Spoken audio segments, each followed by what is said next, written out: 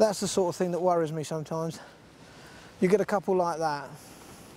He faked to push her. And she shouted. You know, he thinks he's being funny, but with all the potholes there, he could just shove and she could go. Here at Beachy Head, 38 official went over last year. Now, if there was a road junction with 38 deaths, they'd spend a fortune re rebuilding it.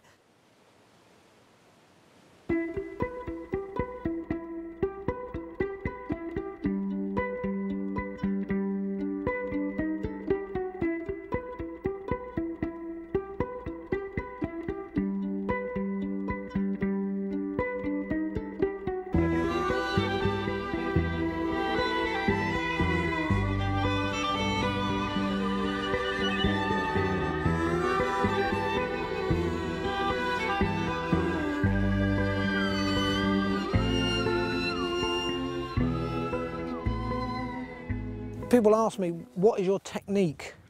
I don't have a technique. I just see people and then I go and talk to them and judge it on the instant as to how I deal with it. Right, my day will always start here. First thing I do is to uh, check if there's anyone gone over.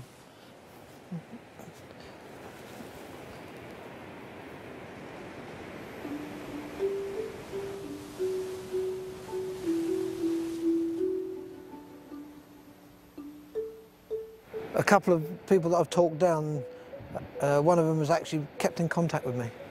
And he's fine now. It was just a moment of madness. He was that depressed at that moment in time. And in a split second, you're gone and there's no going back. Within a few days, he'd pulled himself around and said that in that, mo that moment of madness, he could have died.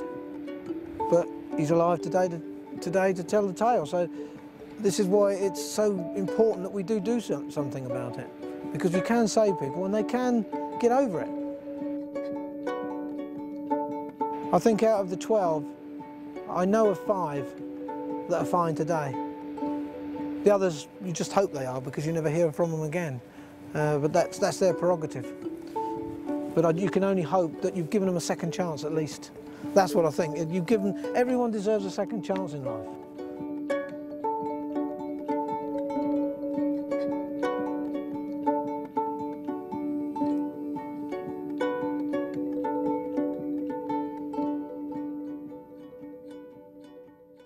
When you talk to these people, you have an empathy with them.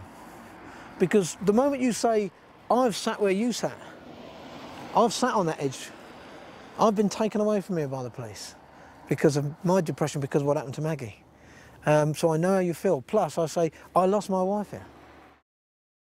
Come lunchtime, she phoned me. And I said, you okay? And she said, I'm fine.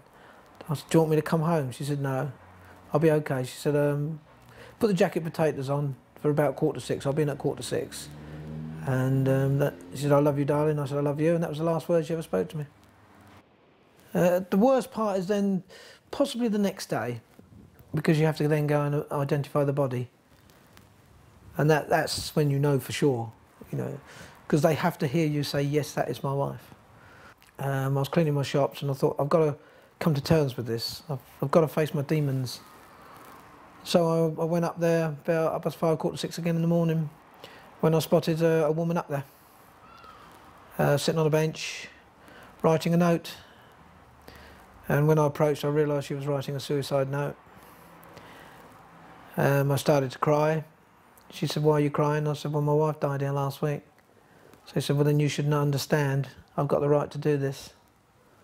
And she started to walk away and I was trying to talk her out of it. Then all of a sudden she made a run for it and made a run for the edge. So I just ran after her. Rugby tackle brought her down and hung on to her till the police came and got her. Well, since that day, I've been going up to Beachy Head uh, twice a day, hour in the morning, hour in the afternoon, seven days a week, trying to stop people from going over. And when I leave here, I will look at the cars coming towards me, at people faces just to see if I can see a distressed face. It's crazy. What I do, I'm going just just in case I'm missing one. It's got better. It's almost been therapeutic to me, and it's become a lot easier since I met Val. Um, by having someone that supports you and loves you makes it life a lot easier. You can come back and share it, and you don't have that that quiet anguish that you can wrestle with for the rest of the day. It's it's gone and forgotten, and you just get on with your life and then go and do the job you have to do. I think it takes someone really special to be able to communicate with someone, and he always seems to sense that someone's in trouble.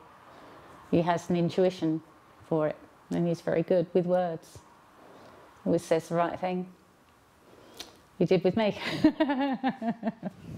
Maybe it's because it brings back a lot of memories, but I have found that it's been therapeutic as well.